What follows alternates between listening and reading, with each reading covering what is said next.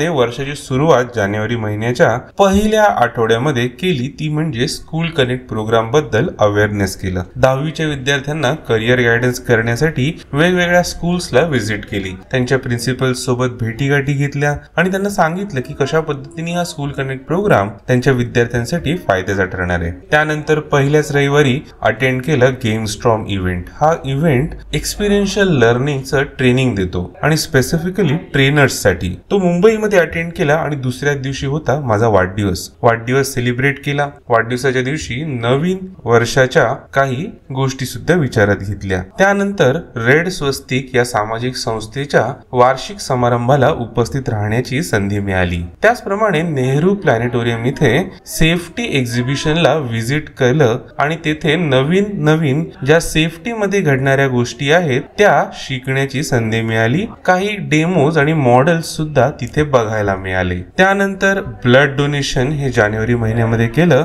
चौदा तारखेला.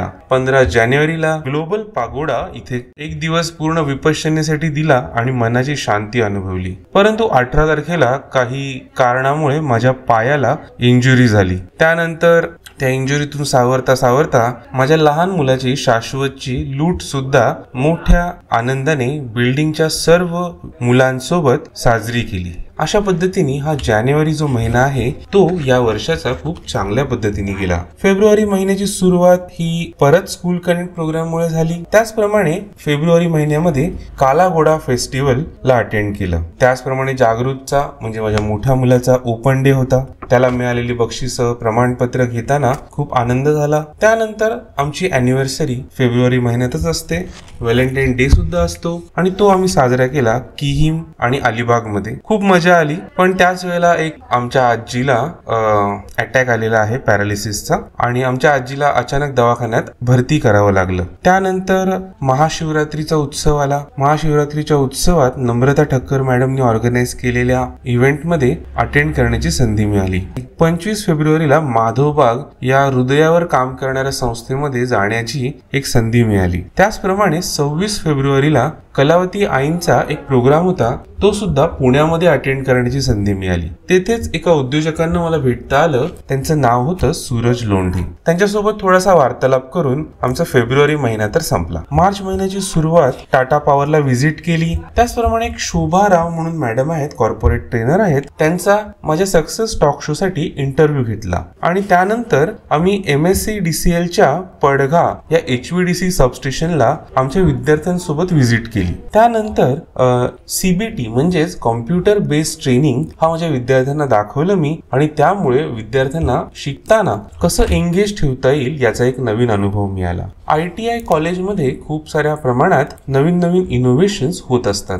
त्याला ऍक्च्युअल करून बघतात आणि त्याचे मॉडेल्स एका एक्झिबिशनमध्ये ठेवण्यात आले होते. त्याला व्हिजिट केली. त्यानंतर एक नवीन अनुभव म्हणून ओपन माइक इव्हेंट म्हणजेच T W C talent talk या इव्हेंटला एका रविवारी संध्याकाळी जाऊन आलो. या महिन्याची अजून एक खासियत म्हणजे या महिन्यात मला व्हीजीटीआय कॉलेजमध्ये माटुंग्याला एक्सपर्ट लेक्चर देण्यासाठी बोलवलं होतं. आणि हे एक्सपर्ट लेक्चर माझ्या सक्सेस टॉक शोच्या अनुभवाच्या आधारे वेगवेगळ्या यशस्वी उद्योजकांची कोणती कोणती सवय असते ज्यामुळे ते यशस्वी उद्योजक होतात यावर मुलांना मार्गदर्शन करण्याची जबाबदारी माझ्याकडे होती. आणि ते एक्सपर्ट लेक्चर डिलिव्हर करून हा माझा मार्च महिना संपलेला आहे. एप्रिल महिन्यामध्ये सुद्धा पहिल्या दिवशी मी एक एज्युकेशनल व्हिडिओ क्रिएशन वर्कशॉप आमच्याच कॉलेजमधल्या फॅकल्टीजसाठी ऑर्गनाईज केलं आय एस टी चॅप्टरच्या माध्यमातून. आणि त्या आधारे मला एक असं गोष्ट कळली की आपल्याला खूप सारे टूल्स जेव्हा आपण वापरतो ते आपल्याला त्याचं नॉलेज जे आहे ते लोकांसोबत शेअर सुद्धा करणं गरजेचं आहे.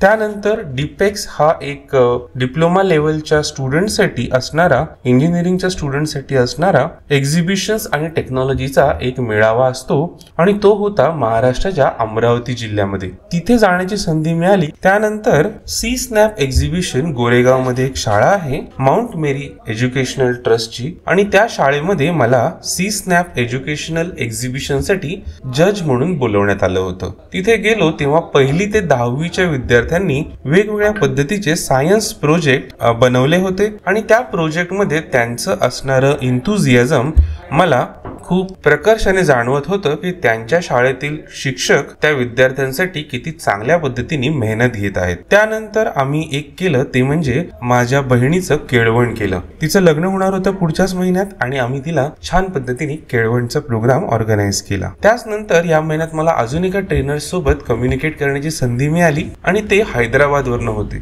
आणि त्यांचा ट्रेनिंग फील्डमधला एक्सपिरियन्स हा खूप चांगला होता. आणि त्यांच्याशी बोलताना खूप चांगल्या गोष्टी कळल्या की खूप सारे इंजिनिअरिंग बॅकग्राऊंडचे जे विद्यार्थी असतात किंवा इंजिनिअरिंग बॅकग्राऊंडचे जे टेक्निकल लोक असतात त्यांना फायनान्सचं नॉलेज नसतं. आणि फायनान्सचं नॉलेज कशा पद्धतीने घ्यायचं त्यामध्ये कोणत्या कोणत्या गोष्टींवर लक्ष ठेवायचं हे सर्व मला त्यांच्यासोबत कळलं. एक नवीन अनुभव म्हणून एप्रिल महिन्यामध्ये मी माझ्या मम्मीचं टेलरिंगचं जे शॉप आहे त्यामध्ये थोडंसं काम केलं. टेलरिंगचं काम करता करता माझ्या मनाला थोडीशी शांती सुद्धा मिळाली. आणि मी बघितलं की टेलरिंगचं काम सुद्धा आपल्याला जमू शकतं. या महिन्यामध्ये एक महत्वाची घटना अशी घडली की मला खूप साऱ्या लोकांनी विचारलं की सर तुम्ही स्विमिंग कोर्स कंडक्ट कराल का? आम्हाला स्विमिंग शिकवाल का? तर या महिन्यात मी माझा स्विमिंगचा कोर्स सुद्धा डिझाईन केला. त्या कोर्समध्ये खूप साऱ्या गोष्टी मी इन्क्लूड केल्या आणि ते शिकवताना मला असं कळलं की जर तुमच्याकडे शिकवण्याची इच्छा असेल आणि समोरच्याकडे शिकण्याची इच्छा असेल तर तुम्ही जगात कधीच उपाशी राहू शकत नाही. त्यानंतर जो एज्युकेशनल वर्कशॉपचा दुसरा भाग होता तो या महिन्याच्या शेवटी मी कंडक्ट केला परत माझ्या कॉलेजमधील फॅकल्टीजसाठी आणि तिथे मी प्रॅक्टिकल डेमॉन्स्ट्रेशन दाखवलं की कशा पद्धतीने आपण एज्युकेशनल व्हिडिओज बनवू शकतो. तिथे त्यांची प्रतिक्रिया ऐकून मनाला खूप चांगलं वाटलं. कारण की आपण जेव्हा एखादं नॉलेज शेअर करतो आणि त्याचा समोरच्याला जेव्हा उपयोग होतो त्या वेळेला त्यांना त्याचं महत्त्व कळत आणि त्यामुळे ते एका नेक्स्ट लेवलला जाऊ शकतात. अशा पद्धतीने हा एप्रिल महिना सुद्धा संपला. त्यानंतर सुरू झाला तो म्हणजे मे महिना. मे महिना तशी आम्हाला सुट्टी होती. पूर्वाच्या लग्नामध्ये नातेवाईकांसोबत वेळ स्पेंड करता आला. त्यानंतर खूप सारे फोटोज सुद्धा आम्ही घेतले आणि जवळपास तीन चार दिवस खूप मजा आली त्या लग्नामध्ये.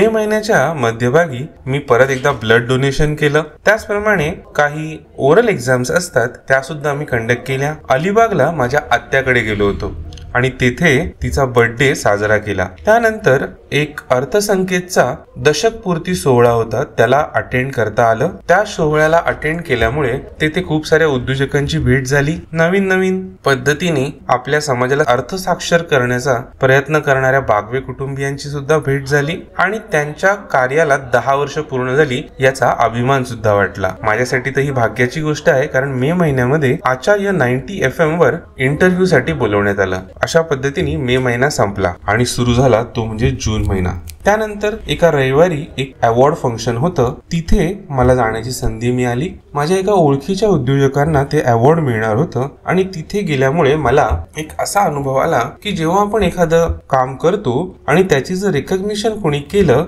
तर त्याचं एक वेगळाच आनंद आपल्या मनाला होतो आणि एक नवीन मोटिवेशन आपल्याला मिळतं. त्यामुळे जर तुम्ही कोणतंही काम करत असाल तर तुम्हाला त्याचं रिकग्निशन मिळालं पाहिजे. एकवीस जूनला इंटरनॅशनल योगा डेच्या दिवशी मुलुंड गार्डनमध्ये योगा ग्रुप सोबत व्हिजिट केली. योगा डेच्या पार्टिसिपंट्सला एक मोटिवेशनल टॉक सुद्धा दिलं.